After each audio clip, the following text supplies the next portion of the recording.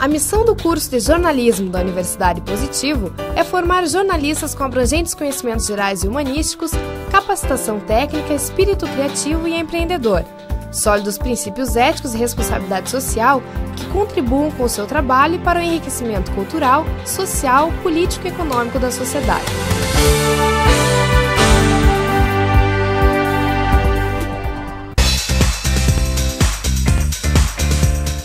Começando mais um Tela 1. Se você está procurando conteúdo e informação, não perca as reportagens a seguir. O primeiro telejornal universitário diário em sua televisão. A notícia que realmente faz a diferença para quem mora em Curitiba e região metropolitana. Olá, está começando agora o Tela 1 de reportagens especiais. O assunto de hoje é dança, mas não vamos falar nem de samba e nem de forró. O que você vai ver são danças que vieram de fora e fazem muito sucesso aqui no Brasil. Elas são praticadas em academias, clubes e até nas ruas. As repórteres Jorge Geschwender, Luísa Melar e Maria Esther Chaves acompanharam três estilos diferentes: a dança folclórica alemã, o tango e o breakdance. Elas se incorporaram na nossa cultura e são conhecidas por todos os brasileiros. Está começando mais um Tela 1. Se você está procurando conteúdo e informação, não perca as reportagens a seguir. O primeiro telejornal universitário diário em sua televisão. A notícia que realmente faz a diferença para quem mora em Curitiba e região metropolitana. Os imigrantes alemães chegaram no Brasil em 1824 e junto com eles veio a famosa dança folclórica alemã, que até hoje é preservada em festas e apresentações. Já o tango é uma dança que surgiu nos subúrbios da Argentina e do Uruguai. Mais que uma dança, ele representa uma manifestação cultural. O breakdance é um dos quatro elementos da cultura hip hop. Surgiu nos anos 70 nos Estados Unidos como forma de manifestação popular. Em vez de entrar em gangues, jovens norte-americanos usavam a dança como forma de competir. No folclore alemão, os grupos de dança reúnem pessoas das mais variadas idades. É na dança que a tradição dos imigrantes continua sendo preservada.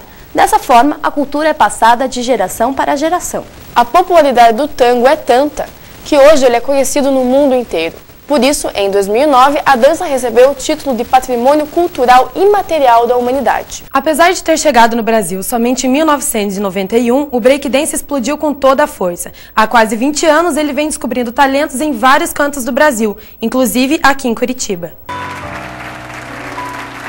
Mi Buenos Aires, querido.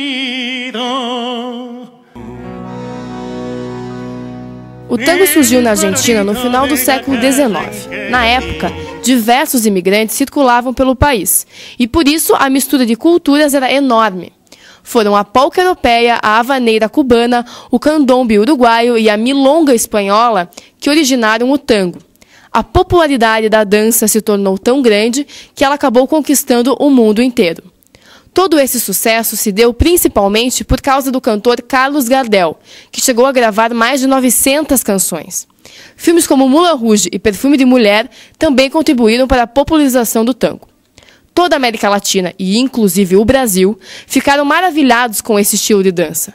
Não é difícil encontrar academias e escolas de tango espalhadas por todo lugar. São pessoas das mais variadas idades praticando essa dança. Eu estou aqui no Centro de Dança Valmir Sec para conhecer um pouco mais o que é o tango. A gente vai acompanhar a aula do professor Leonardo Taques e acho melhor eu prestar atenção, porque o desafio do final do programa vai ser eu dançar alguns passos do tango. Vamos conhecer melhor? Adriana Dias Marques e Bernardo Quintão são namorados e fazem aula de tango há três meses. O tango é uma expressão da tua personalidade, como qualquer outra arte. É, ela traz um autoconhecimento, ela traz a felicidade, a música da felicidade. O professor da Adriana e do Bernardo é o Leonardo Taques. Ele me contou algumas coisas sobre o tango. Leonardo, me dizer quando e como mais ou menos que o tango começou a ganhar expressividade aqui em Curitiba? Ele teve alguns anos que tiveram mais apresentações em Curitiba, orquestras e grupos de Buenos Aires é, visitando a cidade anualmente e agora ele, ele faz parte já, não, não é um momento assim. Se você procurar pela cidade, todas as escolas e academias ou grupos trabalham com o tango, bem ou mal eles, o tango é trabalhado. E a noite curitibana tem já algum tempo oferecendo, enfim, para os praticantes, ouvintes, música, dança. Então, talvez, não sei, não, não teve um ano mais assim. Vira e mexe, sempre tem alguma coisa. Agora já se apropriou, assim, a Curitiba se apropriou do, do tango. O breakdance surgiu em Nova York, nos Estados Unidos, na década de 1970. Esse estilo de dança de rua apareceu como um dos quatro elementos da cultura hip hop. Junto com o DJ, o MC, que é o mestre de cerimônia, e o grafite, o breakdance faz parte de uma manifestação cultural que tem o seu berço nas periferias das grandes cidades. No Brasil, essa arte expressa em forma de dança chegou somente em 1991, em São Paulo. Resumindo, o breakdance é uma dança de rua, faz parte da cultura hip hop, envolve passos e movimentos que exigem um treino pesado. Mas agora a gente vai conhecer isso mais de perto e vamos pegar de exemplo a capital paranaense, Curitiba. O Shopping Itália, que fica aqui no centro de Curitiba, é o principal local de treinamento dos dançarinos de breakdance. Há mais de duas décadas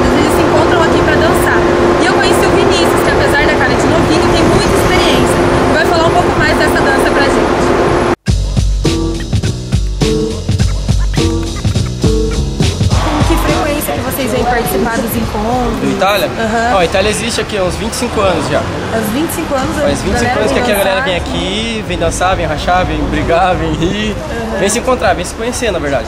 Assim, aqui em Curitiba não tem muitos pontos assim onde o povo se encontra pra dançar, né? É, infelizmente, né? O Itália é o único que aparece assim que todo mundo, por ser uma região central, tem o teto, tá chovendo a gente tá dançando, tá frio a gente tá dançando. Uhum. E é ponto pra todo mundo chegar, né?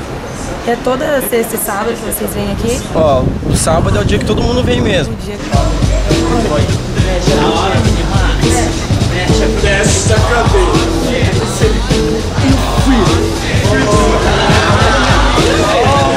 Esses são os baratos. a galera me curte. Uma pequena cidade em Santa Catarina para todos os anos para ver suas tradições alemãs. Nós vamos agora para São Bento do Sul, uma cidade pertinho aqui de Curitiba, para conhecermos o folclore e as tradições alemãs.